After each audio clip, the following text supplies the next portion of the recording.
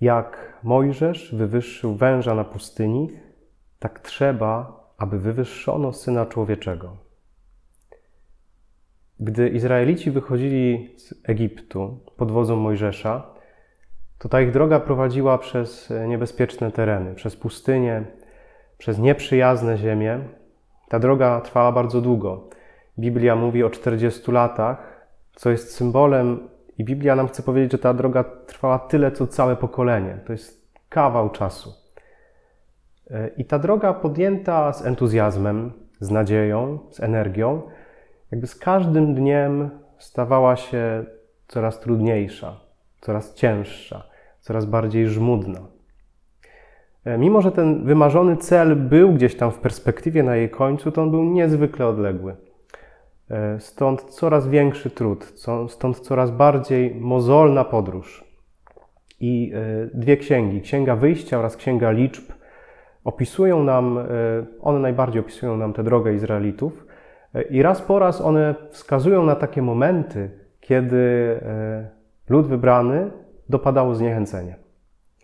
Kiedy mówili, że już mają dosyć. W 21 rozdziale Księgi Liczb tym, w którym właśnie znajdziemy opis e, wywyższenia tego symbolu węża na pustyni, autor zapisał e, relację z takiej sytuacji, kiedy lud dopadło zniechęcenie. Podczas drogi lud stracił cierpliwość i zaczęli mówić przeciw Bogu i zaczęli mówić przeciw Mojżeszowi. Czemu wyprowadziliście nas z Egiptu? Po co nas tutaj wyprowadziliście? Żebyśmy pomarli na pustyni? Gdzie nie ma ani chleba, ani wody, a tylko ten pokarm, który już nam się uprzykrzył. Y, dopada ich zniechęcenie. Co to jest za stan? Co to jest za moment? Y, on się pojawia, on jest charakterystyczny właśnie dla drogi, dla czegoś, co jest rozciągnięte na jakiejś skali czasu. Y, kiedy idę, piętrzą się trudności, końca nie widać, nie widać sukcesów w tej drodze, i wszystko jakoś się nie składa. I to y, w końcu powoduje, że ja mówię, mam dosyć. Zniechęcenie to nie jest taki moment, kiedy podejmuję taką merytoryczną decyzję opartą na argumentach, że, y, że ta moja dalsza droga w tym kierunku, w którym idę, no to nie jest dla mnie korzystna, więc zmieniam kierunek mojej drogi. Wydaje mi się, że zniechęcenie jest znacznie bardziej charakterystyczne dla takiego momentu, kiedy ja mówię, już mam dość, bo te y, Okoliczności, które mi towarzyszą, są nad moje siły. Nie chcę, mam już dosyć. I zniechęceni Izraelici odwrócili się od Boga. Zaczęli szemrać przeciw Niemu, zaczęli szemrać przeciwko Mojżeszowi, nie prosili Go o pomoc. Zaczęli tęsknić za Egiptem, gdzie jakby z tej perspektywy trudnej drogi wydawało im się, że no tak, tam było prościej, tam było jakoś łatwiej żyć. Nie trzeba było się mierzyć e, z wyzwaniami. I wkroczyli w krainę pełną jadowitych węży, które zaczęły ich kąsać. I wtedy Izraelici zawołali jednak do Boga, prosząc go o pomoc.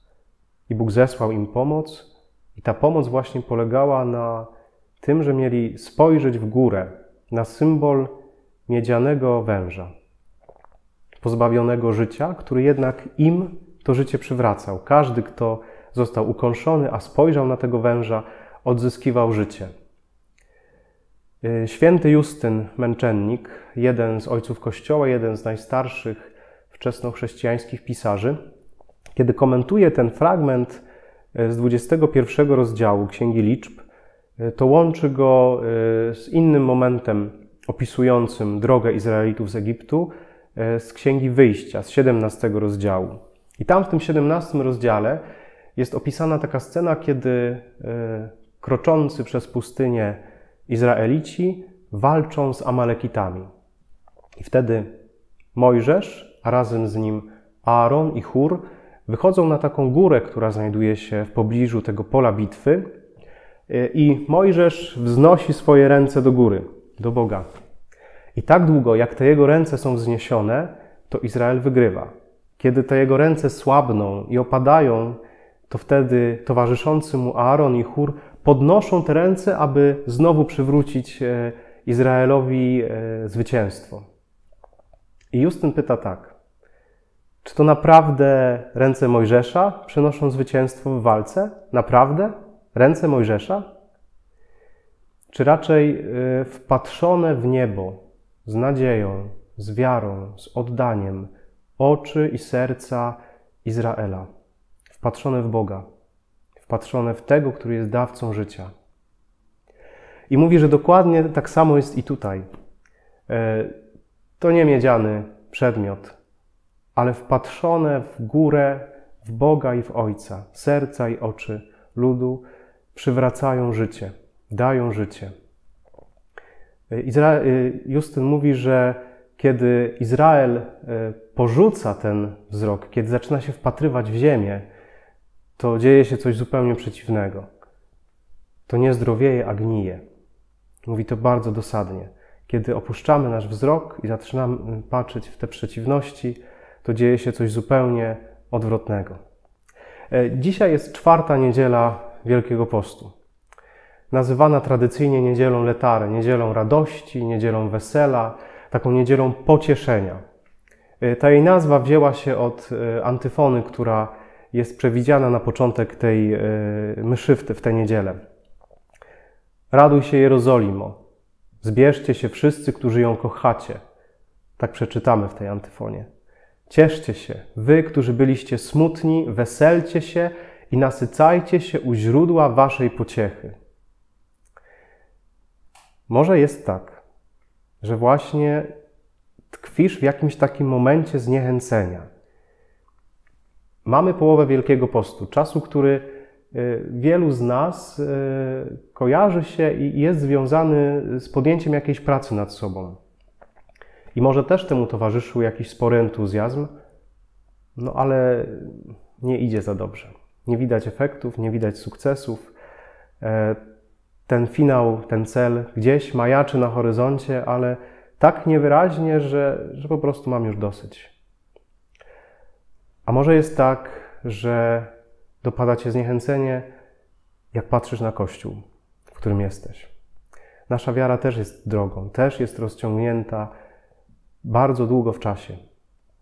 I może jak patrzysz na ten kościół, to myślisz sobie, kompletnie mi już nie po drodze z tym kościołem, takim jakiego go dzisiaj widzę. Bo tyle w nim zła, tyle w nim głupoty, tyle w nim ciasnego myślenia. I możesz powiedzieć: Mam już dość. Mam już dość takich okoliczności. Może masz już dość y, życia w takich warunkach, z jakimi my się mierzymy od e, blisko roku już, kiedy mierzymy się ze strachem, ze smutkiem, z ograniczeniami, z obawami, ze strachem o to, że mogę stracić kogoś e, ze swoich bliskich. Jeśli tak jest, to Bóg ma dzisiaj dla nas jedno słowo. Podnieś oczy ku górze.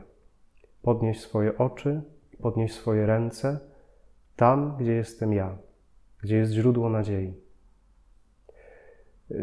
Inny z ojców Kościoła, Grzegorz z Nazjanzu, mówi, że dla nas chrześcijan ten e, wąż wywyższony przez Mojżesza na pustyni e, to wcale nie powinien być podobieństwem Chrystusa, który później będzie wywyższony na krzyżu.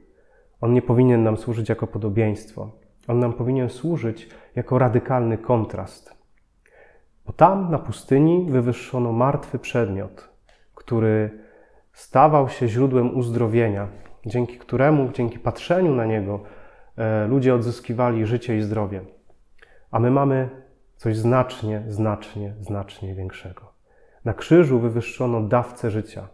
Jeśli spojrzenie na martwy przedmiot, któremu towarzyszyła ufność, wiara w Boga, przywracało zdrowie, to o ile bardziej spojrzenie na krzyż, gdzie wywyższono dawcę życia, e, przywraca to zdrowie i życie doczesne i, i wieczne. Mamy coś daleko więcej niż miedzianego węża. Mamy coś daleko więcej, mamy znak nadziei, mamy prawdziwą pociechę i mamy prawdziwą nadzieję. E, I tak jak Izraelici patrzyli na ten symbol, który dla nich był źródłem nadziei, tak my mamy dzisiaj patrzeć na krzyż, na wywyższonego na nim Jezusa. E, dzisiaj jest niedziela pocieszenia i Bóg z całą mocą chce nam powiedzieć, że wy macie znak nadziei. Macie gdzie wznieść swe oczy. Nie musicie błądzić e, gdzieś bezwiednie wokół siebie, szukając jakoś chaotycznie. Macie znak nadziei. Dałem wam znak nadziei. Spójrzcie na krzyż, na znak nadziei i pociechy. I usłyszcie te słowa, które dzisiaj też e, brzmią w psalmie. Nie zapomnę Ciebie, nie oddalę się od Ciebie. Jestem blisko.